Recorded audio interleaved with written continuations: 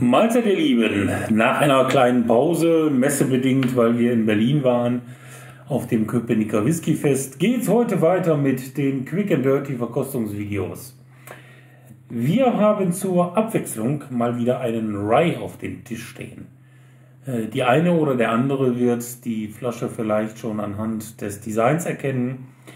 Äh, es ist der Heaven's Door Rye Whisky, den wir hier ausgesucht haben. Äh, für das Design der Flaschen ist His Bobness verantwortlich.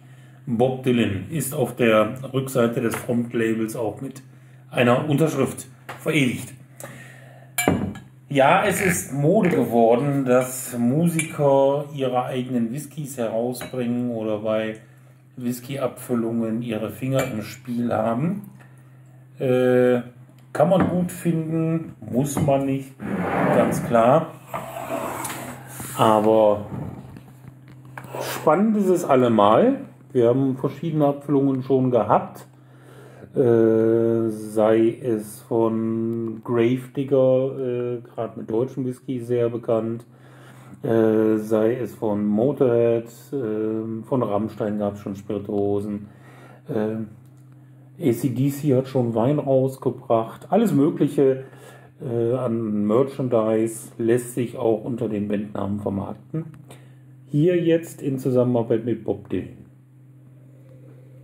Und ähm, ihr seht, die Flasche war schon geöffnet. Wir haben schon einmal kurz dran genickt und ja, was soll ich sagen? Äh, deshalb stellen wir euch den vor.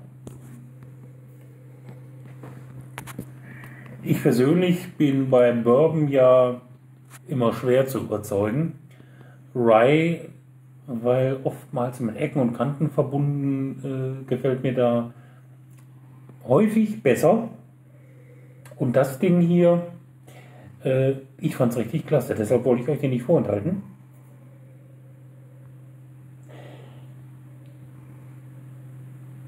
Wirklich so sattgetreidige Noten.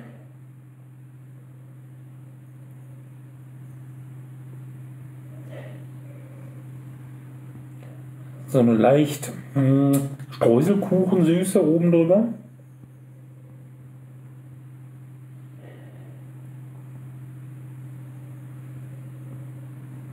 Ein bisschen Frucht.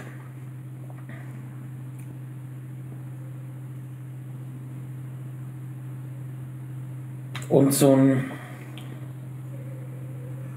das braucht einen Moment, ist dann aber schon sehr interessant, sehr deutlich, wenn man es einmal so wahrgenommen hat, so ein leichtes Nuss-Nougat-Aroma.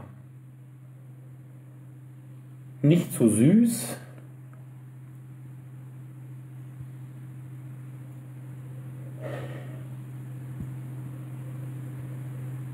Alkohol scheint auch überhaupt nicht präsent. Äh, bei Mola mit 43 Prozent ist das auch sehr, sehr gut verträglich.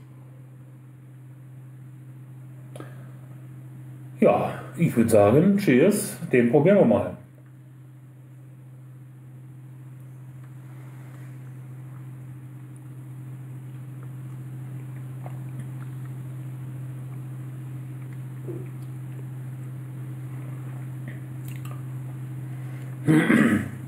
Der kommt ein bisschen ungestüm, ja. Ähm, wie gesagt, so dieses eckig-kantige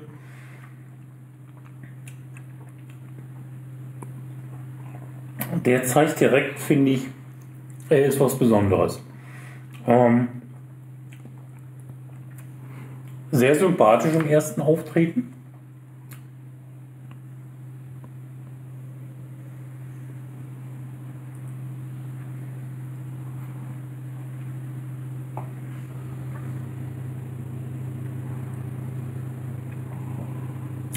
Eine schöne würzige tanninige Grundnote. Ähm, nicht übertrieben, aber prägnant. Darüber finde ich auch hier wieder die, die Streusel vom Kuchen. Mm. Nuss-Nougat auch. Nicht ganz so stark ausgeprägt wie in der Nase. Ähm, ist dadurch ein bisschen runder in sich, finde ich. Und das Ganze aber doch trotz der 43% mit so einem leichten Prickeln auf der Zunge, sehr angenehmen Prickeln. Äh, also jetzt nicht zu scharf, äh, zu, zu beißend der Alkohol, aber doch kernig halt, sag ich mal.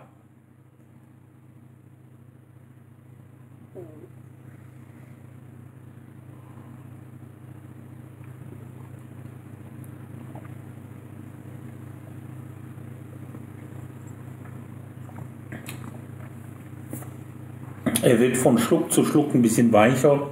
Klar, die Zunge gewöhnt sich äh, an den Alkohol, an die Aromen. Das lässt ihn dann etwas milder erscheinen, aber hinten so im Abgang merkt man es doch wieder, prickelt es noch so ein kleines bisschen auf der Zunge, sobald der Whisky weg ist. Ein sehr schönes Erlebnis und auch im Aromenspektrum sehr, sehr angenehm. Ähm, ja, wie gesagt, der gefiel beim ersten Verkosten schon richtig gut. Gefällt mir auch jetzt wieder. Und äh, ich glaube, das ist so ein Ding, wo auch ich schwach werde und mir den zu Hause hinstelle.